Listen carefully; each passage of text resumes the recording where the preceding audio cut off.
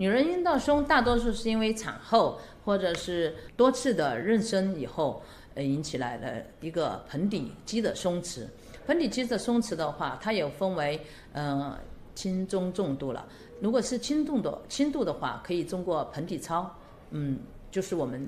如果上网上去查的话，可以去查一个凯格尔运动，通过一种这样的运动，它大多数是可以呃起到一个很好的改善作用。但是因为这种的话，毕竟是一个呃物理的运动的话，它的起效不会有那么快，大概要一个月左右才会有很好的效果。另外的话，它也可以通过药物，呃，从中医来讲，它一般来讲，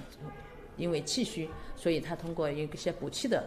药物。补气身体的药物，它是可以起到一个这样的作用。另外还有的是因为绝经以后，呃，引起来一个阴道松，它是因为雌激素的缺乏引起来的，所以局部的补充雌激素或者是全身的补充雌激素，它也可以起到一个呃使阴道紧致的作用。